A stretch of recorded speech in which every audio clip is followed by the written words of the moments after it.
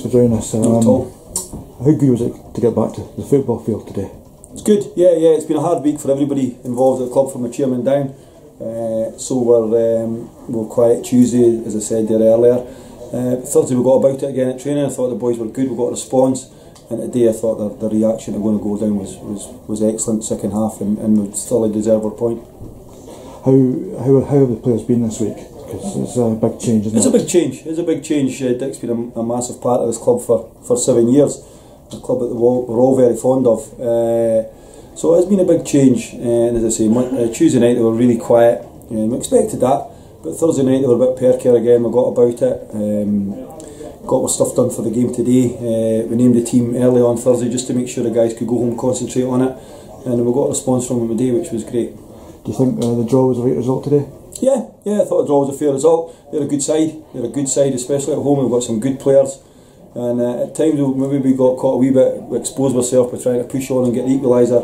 But as I say, the response to going a goal down would have been easy just to, to put our heads down and, and say that's not our day again. But they battled back and then we thoroughly deserve our point in the end, I think. And your view on Kerr Hayes' goal? Fantastic, fantastic. We we're screaming at people just to have a hit.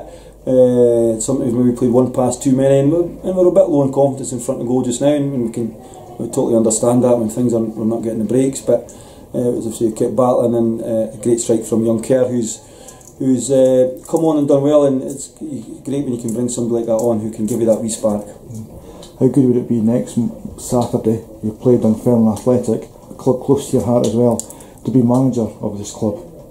Oh yeah, it's obviously uh, if that's what the, the board of directors decide and the chairman, then I'll be I'll be absolutely thrilled uh, if they take that action and, and they want to make me uh, the manager. That's what I want. Uh, but they'll, I'm sure they'll make the right decision for whatever he sees right for the football club. But yeah, it would be uh, against Dunfermline would be quite ironic, I guess. The two clubs that have probably uh, that are closest to me. So you, you have thrown your hat in the ring, you do fancy Yes, the job. yeah, yeah, yeah. Certainly, I spoke with the chairman uh, early part of the week, uh, and he said, "Look, it's fine. Uh, your name will be in the hat like everybody. I'm sure there'll be a lot of applicants for the job. It's a great job, and um, we'll just see what the board decided. I've just been asked to take the team on a basically on a week to week basis just now. So it's great that we can get a point, and hopefully." We can start climbing the league in the right direction. Whoever, whoever's in charge of the club. We had a good start today. Thanks for your Okay, time. thank you. Good Thanks. night. So, Gavin, first your thoughts on today's game. A point, a good result. Yeah, I thought overall, I thought we were the better team. I thought maybe a point favoured them. Uh, I don't think they would have been disappointed. Well, they would have been disappointed, but I thought we'd done enough to win the game. I thought once we got the equaliser, the, the only team was going to go on and win it was us. How how hard has it been this week, and how good was it to get back on the football field? It has been a difficult week. Uh, obviously, Dick, he's a massive character up at Forfar. Uh, he's been he's been brilliant with us. He's been brilliant for the fans over the seven and a half years he's been there. But life goes on. It's, the football, it's it's a funny old game. Uh, but we, we had a hard week training.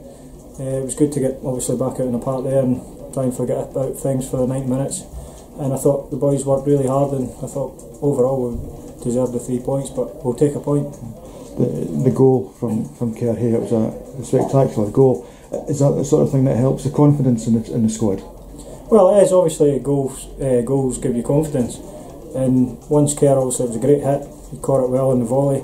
Once we got that, we thought there's only one team going to win this year, and we huffed and puffed. Obviously, conditions out there weren't the best either, uh, but we huffed and puffed, and we just couldn't get that second goal. But overall, we'll take a point.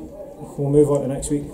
And there's a big one next week. Dun, Dunfermline Dunfermline. at home yet. Do you, do, you, do, you, do you see a new manager being in place by then? Would that be good for the squad just so you can just focus on Well, the future? it's, it's obviously you need to ask Alistair and the, the board about that. Uh, we, we don't we've kept in touch with Alistair, but as I say, it's up to them what, what happens now. We'll just concentrate on training. Whoever's there taking it will will be working hard, and we'll move on to next Saturday. Okay, well, look forward to next Saturday's game. Thanks. No bother. Thanks.